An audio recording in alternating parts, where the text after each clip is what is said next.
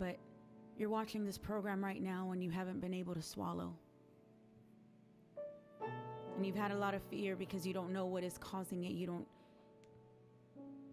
There's been cancer in your family, there's been things going on, sicknesses that have been attacking your family members, and you haven't been able to swallow very well. And you've been very afraid. And you're asking right now, you're asking the Lord for healing, and you're saying, Lord, would you hear me? And maybe when you tell people, they don't feel, they don't seem like it's anything to worry about, but you have been so worried, you're afraid to sleep at night because you can't, you can't swallow right, you can't breathe right. You're afraid to eat because you're afraid you're going to choke. But right now, the Lord is saying, I have come to bring you healing right now. I have healing for you right now. If this is you, then message in right now. Because there is healing available for you right now. And just put your hand right there on your on your throat. Healing right now is available for you. And if you're watching and you're saying, well, it's my family member, it's my daughter, it's my, then it's available for them as well. But healing has arrived right here tonight because God has heard your prayer He has seen your fear. He has seen what you've been going through, the worries that have been in your heart and in your mind. And He's ready to break free right now. He's ready to heal right now in the mighty name of Jesus. Father God, by the authority that you have given me in the name of Jesus, I declare healing right now from the crown of their head to the soles of their feet, every sickness, every fear, everything that is causing limitation to their throat, everything that is causing limitation to being able to swallow and breathe right, to being able to eat right, Lord, I rebuke it right now in the mighty name of Jesus. You would clear their airways right now, Lord. You would clear their throat right now in the mighty name of Jesus. Healing Healing right now. Healing right now in the mighty name of Jesus.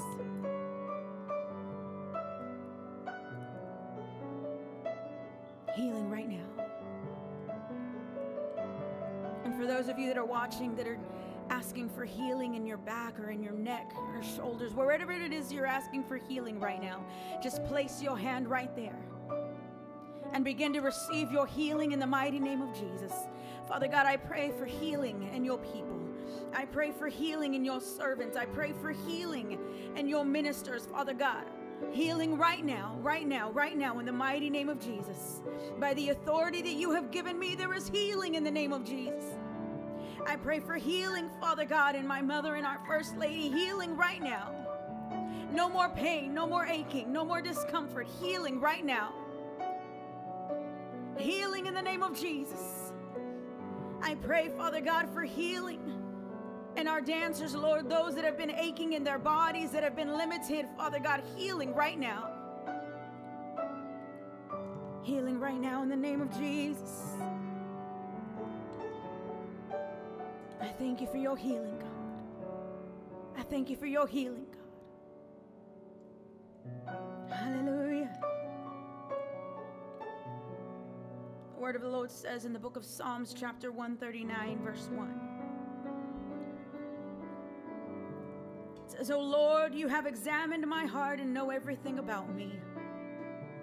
You know when I sit down or stand up. You know my every thought when far away. You chart the path ahead of me and tell me where to stop and where to rest. Every moment you know where I am. You know what I'm going to say even before I say it, Lord. You both precede and follow me. You place your hand of blessing on my head. Such knowledge is too wonderful for me, too great for me to know. The Word of God says, See, King David came before the Lord and he said, Lord, you've examined my heart. You've inspected the depths of my heart, God. You've scrutinized carefully the things that are going on in my life. You have, you've observed Every heartache, every brokenness, everything that has gone on within me, Lord, you've observed it and you've investigated it. See, He looks into the deepest parts of your heart. He cares about all the pain and all the suffering that you've had to endure. He looked into the parts that have been chipped away by the mistreatment of the people around you. He knows about the broken pieces that people carelessly damaged within you. He knows about the loneliness you felt because of being abandoned by those that said they loved you and would never leave you. He knows how much your heart has been shattered by those that have abused you and neglected you in your life.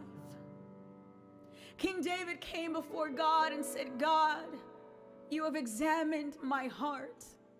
You know every hurt, you know every wound, you know every scar and every every pain that I felt. And tonight the Lord wants you to know I have been examining your heart. I have been overlooking the things that have been going on within you, the things that you held secret, the hurts that you never told anybody about, the moments that you cried yourself to sleep all alone, thinking nobody cared and nobody knew. Knew.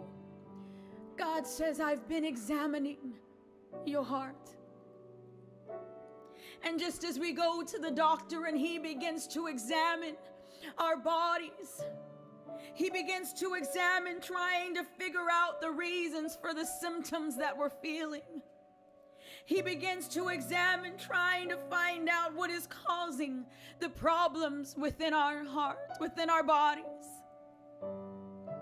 He needs to find the root of the problem in order to find the cure for you to be better. And in the same way, God is trying to find the damage that has been caused in order to find the resolution for your life. God is examining you to see the cause of the pain, the cause of the hurt, in order to be able to heal the wounds that have been caused.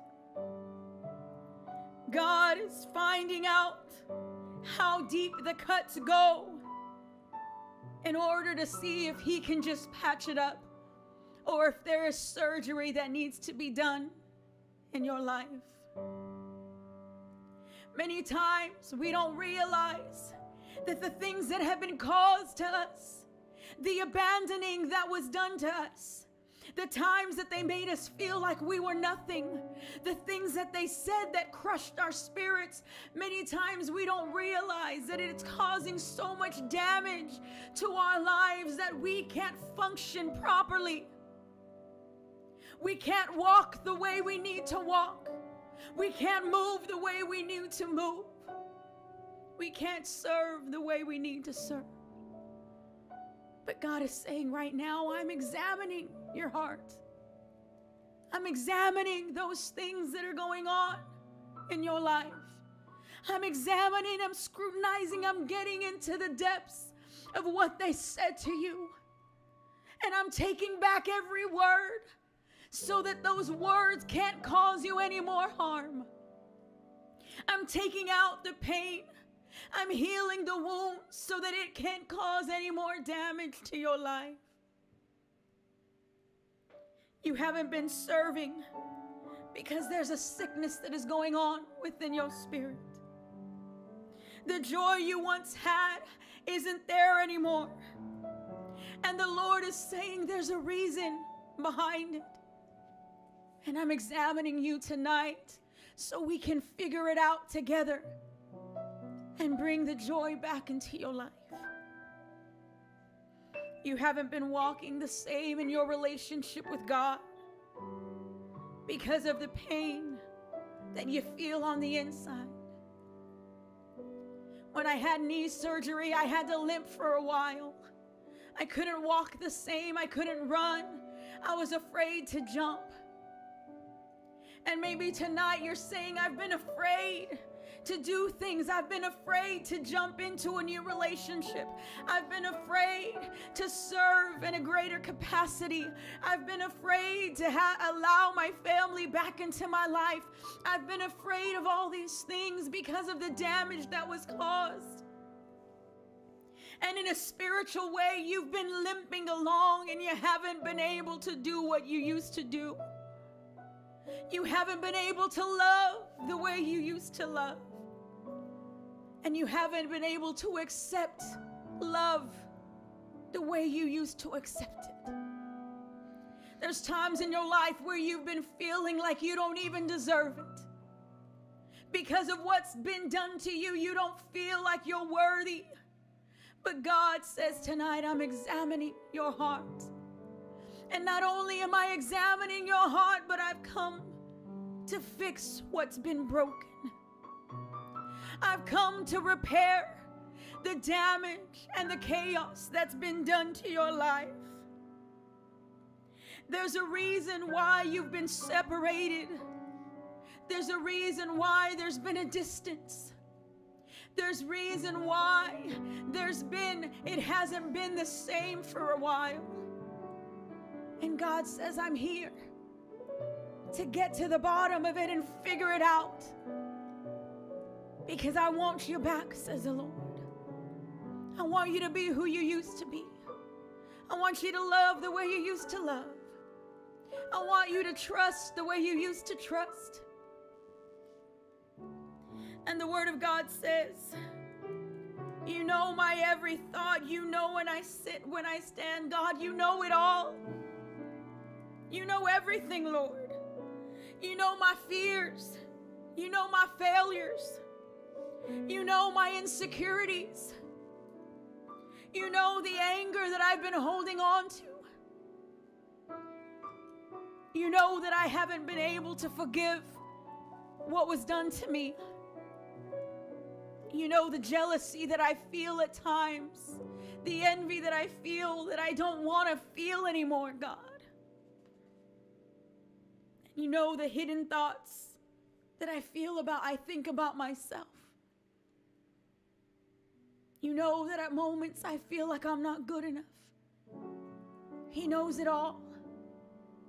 He knows everything about you, every hair on your head. He knows every every part of you, every thought, every moment that you wanted to give up, every time that you felt like it would be easier to just stop trying, every time that the enemy told you to just let your life go and give it all away. The times that suicide began to cross your mind, God knows about it. And He says, I'm here to heal those thoughts. I'm here to remove those things in your life that have held you back. He knows your past. He knows the mistakes that you've made. He knows you made some wrong turns along the way. He knows you did things you wish you could take back. He knows you've had some what was I thinking moments. We've all been there, church. He knows you were not so good of a person sometimes in your life. He knows that there was times you talked about other people. He knows you had some not so good moments, not so good decisions, not so good times in the past. And he knows that there's things that you're ashamed of that people know about. God knows it all, but He still loves you. And see, many times in our lives, people want to come and make us feel like we're unworthy because of the things that we've done. They want to come and make us feel belittled because we made some wrong decisions, or we did some wrong things, or we said the wrong things. But God Himself loves you so much that He says, I know it all and I still love you. I know everything and I still chose you. I know everything and I'm still gonna bless you, says the Lord. I know how many times you messed up, and I still have a purpose and a plan for your life, says God. In the book of Psalms, chapter 37, verse 23, says, The steps of the righteous are ordered by God. And if you stay, and if you go back to verse Psalm 139, it says, You both proceed and you follow. That means He already has a plan for your life.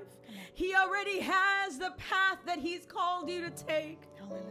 The steps of the righteous are ordered by God Himself. He says, I have everything in order for you. I know who you're going to marry.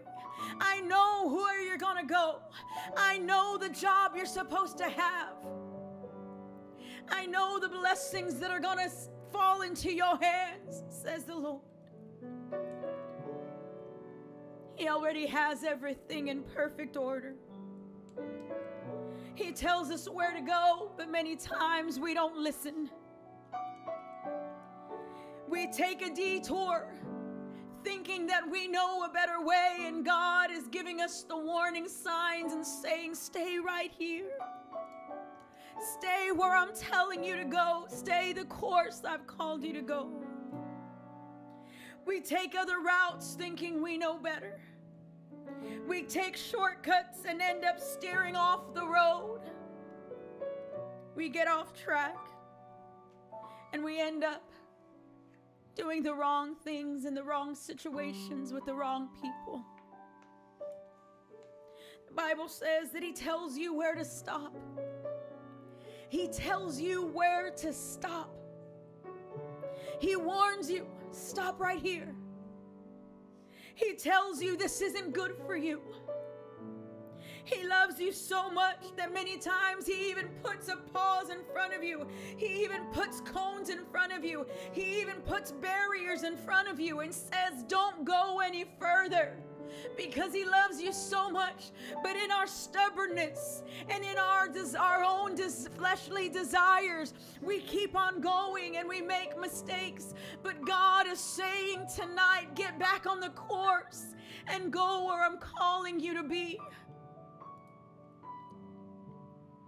Many times he flags us down and tries to say, Stop, that's not good for you. But we think we know better, so we don't listen.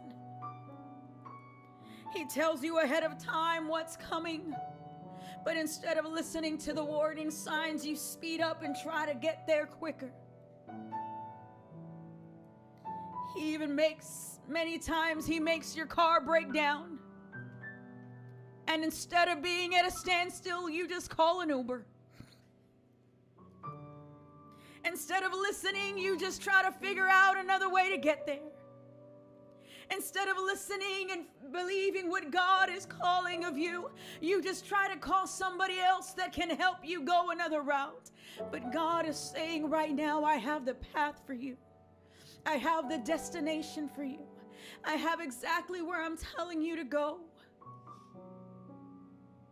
Listen to me, says the Lord.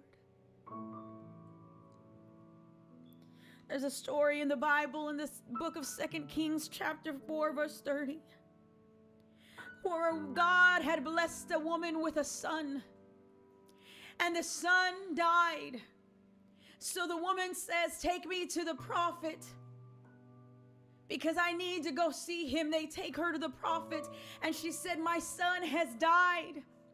And the prophet says, Go back. My servant will go with you. And she says, I won't go. And in verse 30, it says, But the boy's mother said, As surely as the Lord lives and you yourself live, I won't go home unless you go with me. So the prophet went with her, and she received the blessing of the resurrection of her son.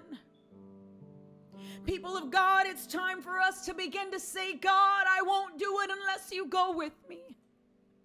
God, I won't take the step unless you take it with me. God, I won't enter into this new season unless you tell me this is for me.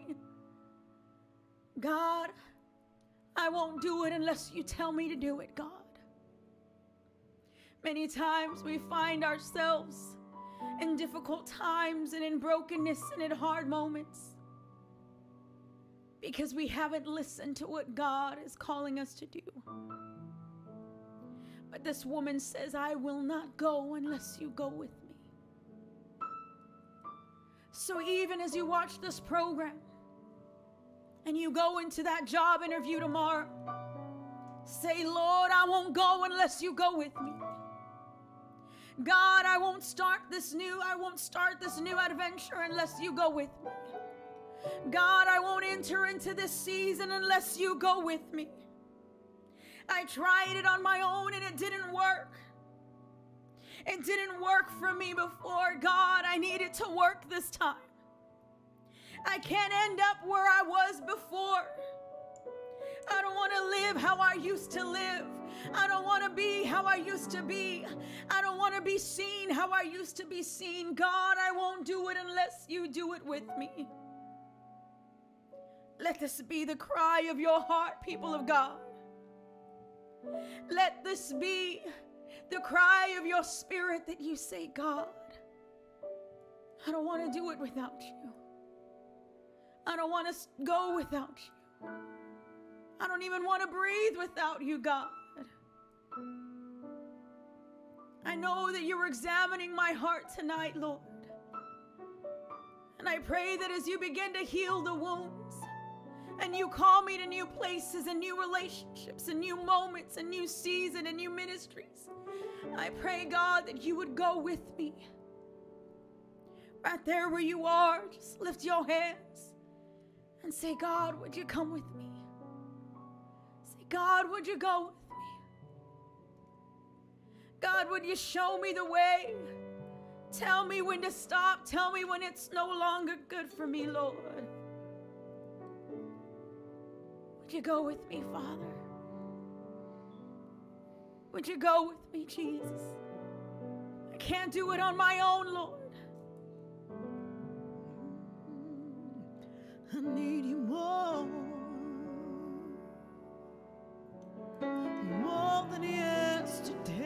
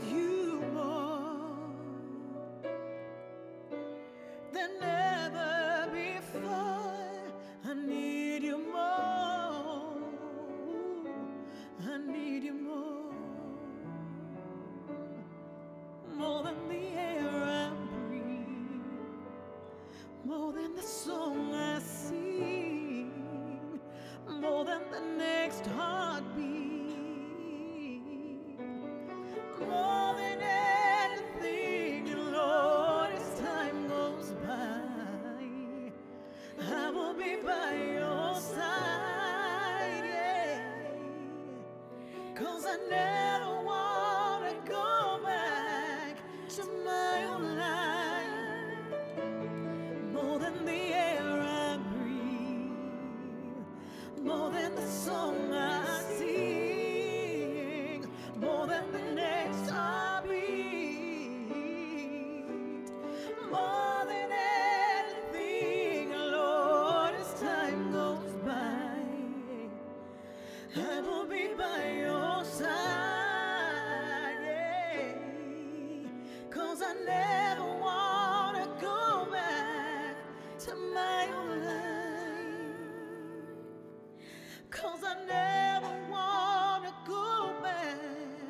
to my own life. Cause I never wanna go back to my own life. I need you more. Father God, we lift up Anthony before you right now in the mighty name of Jesus. Father God, you know where he is and you know what he's going through, Lord. I pray, Father God, that you would find him right now and that you would just begin to bring restoration and strength to his life right now. I rebuke every bit of depression that is trying to take over him. And I pray that he would be set free right now in the mighty name of Jesus. Father God, that he would be able to find joy and peace and strength right now in your presence. Be with him, God. Be with him, Lord. Father God, and right now I pray, Lord, that every person that is watching this program, Father God, that has been going through a difficult time, Lord, that you would just begin to heal their hearts. That as you examine our hearts, that as you examine us, Father God, that you would bring peace, that you would put the pieces back together, and the brokenness that we felt the damage that has been caused, Father God, that you would be the surgeon of our hearts and you would be able, Father God, to take out every hurt, every pain, every fear, every worry, God. We would find joy, we would find peace again. Thank you for loving us so much. Thank you for not leaving us in the depression. Thank you for not leaving us in the pain. Thank you, God, for giving us a way out even now. Father God, I won't go unless you go with me. Be with us tonight, Jesus. In your name we pray.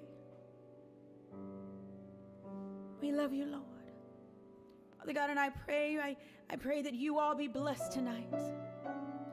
I pray that the blessings of God would just pour over your home, over your life right now. Pray healing in your body, in your hearts, and in your spirit. Thank you for watching this program on behalf of our pastors. They love you and they bless you. And until we see you again, have a wonderful week, and may the Lord richly bless you.